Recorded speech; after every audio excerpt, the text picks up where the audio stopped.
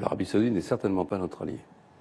Je considère, et je le dis d'ailleurs dans le livre, que l'Arabie saoudite est un pays qui est pour une part à l'origine de la montée de l'intégrisme au sein de l'ensemble de la communauté musulmane mondiale, avec le wahhabisme, euh, et qui abrite aujourd'hui encore en son sein des prêcheurs, des théologiens qui sont euh, qui viennent nourrir cet intégrisme. Mais on lui vend des Et armes. donc, eh ben, c'est la raison pour laquelle je dis qu'il faut revoir l'ensemble euh, de notre diplomatie à l'égard euh, des, pa- des pays de cette région. C'est-à-dire, moi, je veux qu'on parle avec tout le monde. Je veux qu'on parle avec les Russes, je veux qu'on parle avec les Iraniens. Je veux pas qu'on arrête de parler avec les Saoudiens, mais en même temps qu'on les- qu'on les- qu'on leur parle en, en connaissance de cause et en les mettant devant leurs responsabilités. Mais soyons clairs, on, arrête de leur vendre des armes ça dépend de, la- de- de leur attitude. Si, les- si les Saoudiens continuent à euh, faire ce qu'ils font aujourd'hui, oui, il faut euh, leur dire les choses avec une certaine brutalité. C'est assez extraordinaire de voir qu'on ne veut, on, on- on désigne la Russie comme aujourd'hui quasiment le, le diable et l'adversaire principal,